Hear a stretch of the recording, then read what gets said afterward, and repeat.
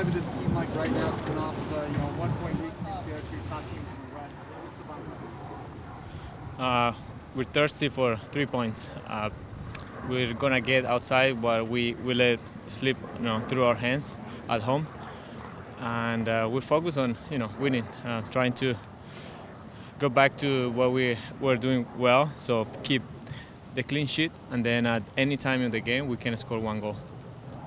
Played, you know, typically for the last few months, Wednesdays and then you have weekend games and Wednesdays, weekends, kind of back and forth. Now to have games on Tuesday and Monday, does that change anything psyche-wise at all? Different days of the week at all?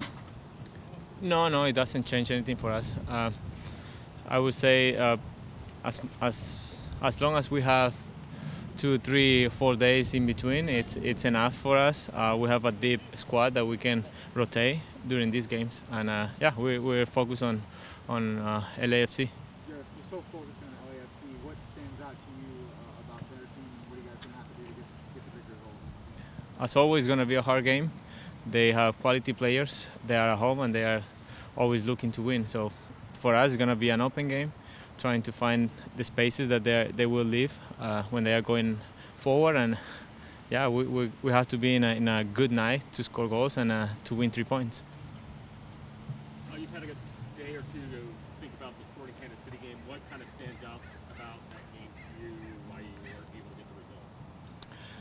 Uh, I think goals change the games, and uh, the second half we started really well. Uh, we couldn't find that second goal, and then obviously everybody saw the uh, PK that could have been uh, give us, you know, an extra motivation and the red card that the goalkeeper should have. But at the end of the day, it, it's in the past. Uh, for now, it's uh, trying to stay focused on this game, knowing that they are really good players and we cannot uh, sleep on, on the game because they will make us pay. What was kind of the team's reaction after the game, uh, talking uh, about the incident with uh, Tim Melia taking down Cristian Roldan, only getting a yellow? Well, disappointed. Uh, I believe if I try to do that on the next game, I would get a red card, right? Uh, it is one of those uh, plays that it would change a game because it's a PK and, uh, and it would be a red card for me. And uh, honestly, uh, hopefully that, that kind of incident won't, won't repeat again, especially in our, in our home. Uh, the league seemed to try to market the play, uh, engaging with uh, celebrities like The Rock. Uh, are you concerned that the league more values getting clout from celebrities as opposed to player safety? Uh, judging by what they did with that tweet, yes, I, I believe so. They want marketing.